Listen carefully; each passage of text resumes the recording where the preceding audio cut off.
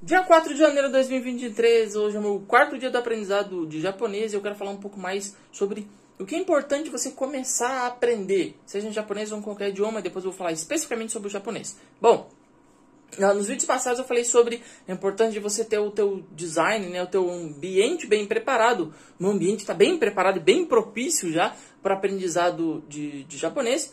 E aí você pode fazer o mesmo com os outros idiomas. Agora você deve estar se perguntando, tá, mas quando é que esse homem vai realmente começar a aprender as coisas? Eu já estou aprendendo as coisas. É, então eu vou te mostrar o que, que eu já estou fazendo é, para aprender. Antes de eu te mostrar especificamente no japonês, eu quero te falar é sobre qual é o princípio que está por trás disso. Você tem que começar a aprender de fato com papel, caneta ou usando o computador, teu celular, aplicativo, vou te recomendar os aplicativos em japonês aqui. Mas quando você vai aprender um idioma, você tem que começar aprendendo palavras mais frequentes.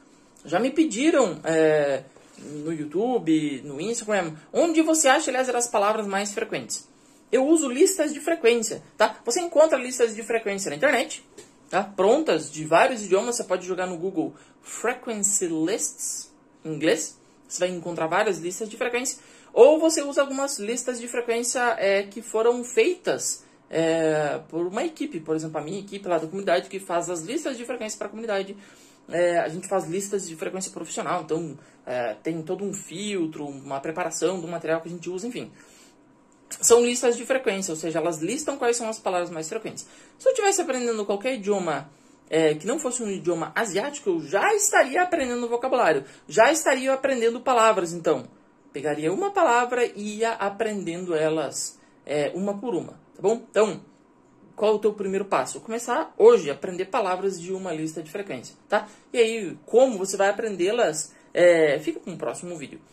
Então, primeira coisa que tu vai começar a aprender depois que o teu ambiente está pronto são palavras frequentes. Agora, idiomas asiáticos têm um, uma barreira de entrada um pouco maior. E esse é o caso do japonês. Então, vamos falar sobre o japonês agora em específico. O japonês ele tem três sistemas de escrita tá? Eu também estou estudando isso, tá? Não estou dando alto, estou estudando, estou aprendendo junto. Eu descobri que tem três sistemas de escrita: o hiragana, o katakana e o kanji, tá? São três sisteminhas. O kanji especificamente vem do Hanzi, do chinês. São letras chinesas, principalmente usando o Hanzi é, tradicional, tá? Vem da China. Agora, o hiragana e o katakana são aquilo que se chamam de kana, né? São dois sistemas de escrita que eles usam para finalidades diferentes. Eu estou nessa parte inicial. Aprender é como se fosse esse alfabeto. Não é assim, quando o povo fala alfa, alfabeto, o japonês, o japonês não existe alfabeto. Não tem tipo A, B, C, não, não existe isso. Você, você aprende tudo, as 200 e poucas lá, você tem que aprender tudo. Então, só são 200 e alguma coisa, 250, 250 e alguma coisa lá de, de, de, de hiragana e katakana, e você tem que aprender todas. Porque elas formam palavras e cada uma delas tem um som. Por exemplo, i, a, to, tá, zo, so. Então, ela, cada uma daquelas letrinhas, né, daqueles desenhos, representa, é, representa um som. E depois elas vão se juntar para formar palavras. Se você, então, qual é a barreira de entrada em línguas asiáticas? Geralmente, é você aprender essas palavras. É, palavras não, né? Aprender esses caracteres, esses desenhos. É exatamente isso que eu estou fazendo agora. Como eu estou fazendo isso? Eu estou fazendo isso de duas maneiras, tá? A primeira maneira é o seguinte: eu escrevi todo o hiragana, todo o katakana aqui, ó, tá? No meu caderninho. E vez ou outra, quando eu esqueço, eu dou uma olhada aqui. Bom, por exemplo, essa aqui. A, Tá bom? E aí, daí, daí, daí pra frente, a minha letra também não é tão bonita assim agora no começo. Então, é, eu uso papel e caneta assim e vez ou outra eu referencio o caderno para ver algum que eu esqueço. Agora, esse é só um modo. O segundo modo é repetir é, repetir várias vezes o, o mesmo repetir várias vezes o mesmo exercício, ou seja, eu estou usando um aplicativo chamado Kakugo, que você pode selecionar quais é, quais palavrinhas você está aprendendo e aí você repete elas infinitamente até é, você acertar. Então, às vezes eu seleciono no banco de dados do aplicativo, tem. Acho que vou fazer um videozinho da minha tela, da tela do meu celular, para te mostrar como é que eu uso, tá? Então, esse vídeo aqui, embora seja um vlog, ele vai ficar um vlog um pouco é, mais complexo, que eu vou gravar a tela do meu celular para te mostrar como usa o Kakugo, tá? Você pode usar outros sites na internet que tem que te permitem você que te permitem você ficar estudando vários e vários e vários desses hiragana e katakana até você acertar. Então, então a minha recomendação é, pegue um par, pegue, sei lá, um conjunto de. De cinco, um par, não um par de cinco, não. Pega um conjunto de cinco, seis desses hiragana ou katakana, tu tá aprendendo japonês. E aí você fique aprendendo eles, assim, até você não cometer mais erros. Use um aplicativo como o Kakugo ou algum outro site, tá? Eu tenho um monte desses sites para te recomendar se tu quiser. Manda um arroba Piano lá, um privado lá no meu Instagram, que eu posso te enviar. Ou comenta aí nos comentários do YouTube se tu quer o site, eu envio para ti. Beleza? Então, tudo grátis, obviamente. Então, é, minha, minha dica aqui, é, nesse vídeo aqui, para fechar, é quando você vai para o aprendizado de idiomas, quando o teu ambiente já está preparado, você tem que começar a aprender palavras mais frequentes, tá? Aliás, mas estou aprendendo o idioma asiático, não consigo nem aprender palavras. Ótimo, então tu tem que aprender um pouco mais sobre o sistema de escrita deles. Se tu está aprendendo chinês, tu tem que começar pelo pinyin, né? Entender as tonalidades e tudo, como é que funciona para falar cada uma daquelas palavras começar pelo pinyin. Se você está aprendendo japonês, que é o meu caso, você tem que começar pelo kana, né? Que é o hiragana, katakana. Eu estou aprendendo o hiragana e eu tô, né?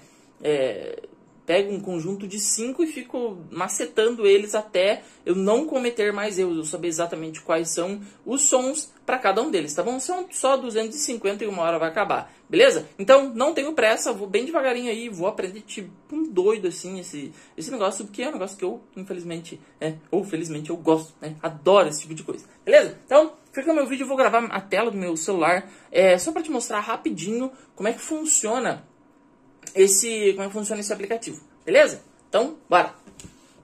Muito bem, eu tô com o aplicativo aqui aberto, tá? Você acha na Play Store aí. Eu não tenho certeza que isso aqui tem pro, pro iOS. Agora eu fiquei com essa dúvida. Se você usa iPhone, me manda uma mensagem também que eu acho que eu te recomendo alguma coisa meio parecida com essa. Beleza? Kaku, como é que você faz? Escolhe, no caso eu tô no Hiragana, escolhe o Hiragana. Aí aqui embaixo, ó, Hiragana Selection, tá? Para você selecionar aqueles que você quer aprender. Então, eu vou tirar todos aqui, né? Selecionar nenhum. Aí, por exemplo, eu quero treinar um, um, conjunto de cinco. Então, eu vou colocar vou, de cinco em cinco. Então, A, I, U, E, O. Para mais, né? É, tenta assim, tá bom, tá bom, tá bom. Então, vou selecionar só esses para treinar. Então, vou voltar em Hiragana, deixa eu ver se tá, tá certo aqui. Tá 5. Beleza? Hiragana. E você só vai usar só essa primeira opção aqui, tá? Só essa primeira opção, que é Hiragana Torumaji, tá? Que é o, basicamente o Hiragana para o, o, o, quiz, tá? Ah, eu preciso selecionar de 10. Então, vou, então vou selecionar pelo menos 10 itens. O, aplicativo pede para selecionar pelo menos 10 itens. Nem, nem eu sabia disso. Então, vai O, K, G, Ki, Ku, deixa eu ver o que mais. Hum, Shi, Su. Tá bom, vai esses aqui. Vamos, acho que, acho que agora vai dar. Beleza. Então, ótimo. Vai aparecer, você vai mostrar resposta, né? Depois que você mostrou resposta, você responde. Então, sure. Beleza? Que é o U. Mostrar respostas. I. Mostrar resposta. Shi. Mostrar resposta. Qual que é? K, H, X, Su. Sei lá, vamos colocar um que eu tenho certeza que não é. U. Aí ele corrige lá embaixo, tá bom? Aí vai pro próximo, beleza? Então, é assim que você vai fazer. Pegue um monte de... Pegue um monte de desses desses desses canas aqui, desse hiragana ou katakana e vá fazendo, tá? E vá fazendo, vai vai vai respondendo aí e aí uma hora você, uma hora você de tanto responder, uma hora você acerta bastante, beleza? Tem alguns aqui que eu já que eu já sei, que, que eu já sei, tenho certeza, tem alguns ainda que eu não que eu aprendi. Ó, esse aqui não é o, é o A. Esse aqui. Beleza? Esse aqui é X.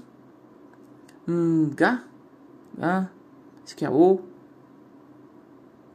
E aí, e aí tu vai, ele tá mandando teu, teu score lá em cima. Ah, Eliezer, quantas vezes eu tenho que fazer isso aqui? Cara, repete, sei lá, umas 200 vezes até tu acertar os 200. E daí tu seleciona mais 10 e daí vai daí pra frente, beleza?